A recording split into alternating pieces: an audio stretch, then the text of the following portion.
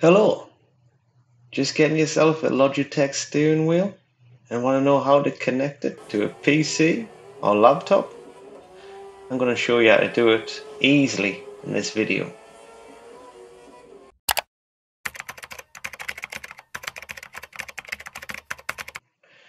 Logitech do two steering wheels. The G29, which is for your PS4, PS5, but also PC and also do the G920, which is for Xbox, but also for PC. The G29, which is for PlayStation, gives you a little bit more buttons, a bit of LED. That's what I'm going to be using today. I've made a video using the Xbox version, but like I said, they're both compatible with PC. I'll quickly show you what you actually get in the box. So open it. You have your power lead, your power pack, then you have your steering wheel and your pedals as well. You can buy a gear shifter separately, but in this video it will be the steering wheels and the pedals. On the back of the steering wheel, it shows you where to connect your pedals or the gear shifter. You see, it's just the pedals today. It's exactly the same as the Xbox version, no different. So, first thing you want to do is connect your power lead to your wall outlet, and then you turn your steering wheel over, and I'll show you how to connect the leads. This is the USB which will go into your PC. It's that lead there.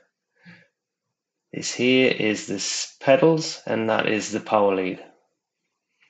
So the first one I will connect will be the pedals. It's got a picture where it actually goes, so it's quite easy. Once in, just tidy up the cables, doing a bit of cable management, it's got some sort of grooves that you guide the cable through just to keep it nice and neat.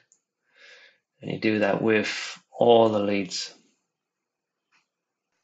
So once we have the pedals in and do a bit cable management, make it nice and tidy, the next one will be the power lead. Same again, it shows you a, like an icon of where it would go.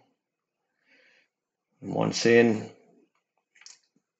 tidy it all up and that's just done for cables and connections of the steering wheel and then we're going to connect it to your table or desk which is easily done by just tightening up the two bolts until it's fitted nice and securely.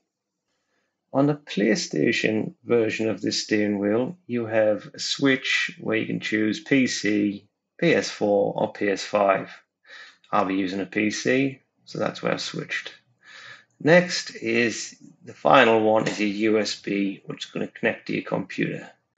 Once it's all connected, your wheel will do a quick calibration just to show that it's all working and connected.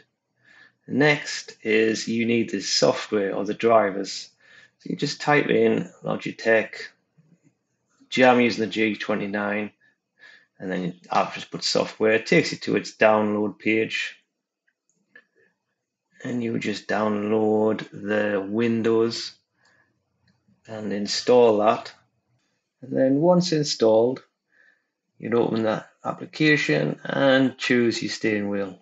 And once in here, you can map the keys to each different game. You can have custom settings.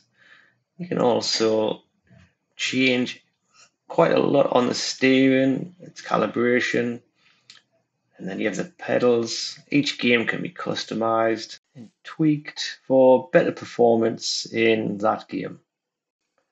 And that's it. Once all done, you can enjoy using the wheel on all your car games. And off you go. If you did like this video, please like, comment, subscribe. Thank you.